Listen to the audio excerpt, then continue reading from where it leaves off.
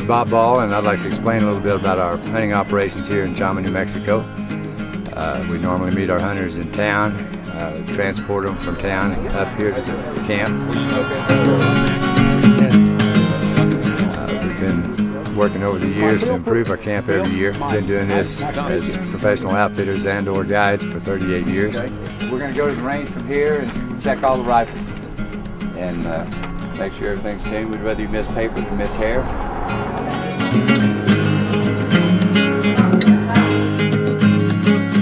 But we've had awful good success up here over the years.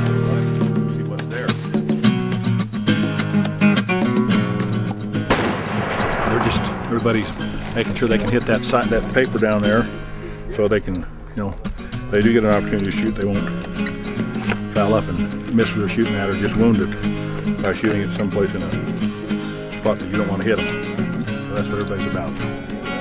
They just want to make sure you can, you know what you're doing before they turn you loose someplace.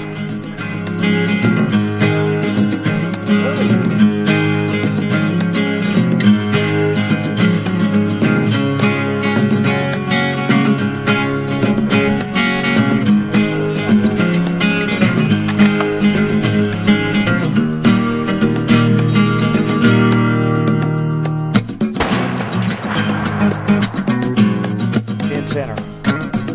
That's good. 100 yards.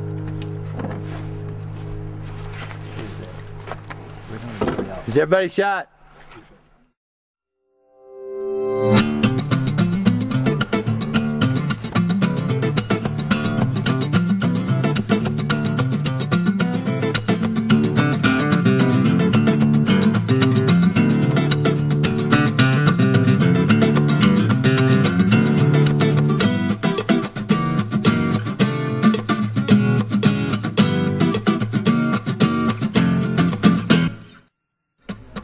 About uh, 22 years ago, we decided that we wanted to be in the outfitting business and work in a place we like to work in. And uh, I've been guiding for a lot of years for other outfitters and ranches and so forth. So Sheila and I talked about it, decided that we're going to move to our land in Chama and build a house and go in the outfitting business full time. So she kind of dropped her chin and said, well, maybe we'll try it. So we did, and we never looked back. It's been real good. I do everything I can to make the camp as comfortable as possible, even out here in the woods. And uh, so that entails a lot of work. We don't have a lot of shopping close by. So it's it's been an experience, and uh, we've tried to improve the camp and building cabins and that sort of thing, and make it a little more comfortable for people. My name's Mike Bragg, and I hunted, bow hunted with Bob Ball for uh, two years, and then he asked me to guide. I guided for eight years, missed two years, and I'm back again.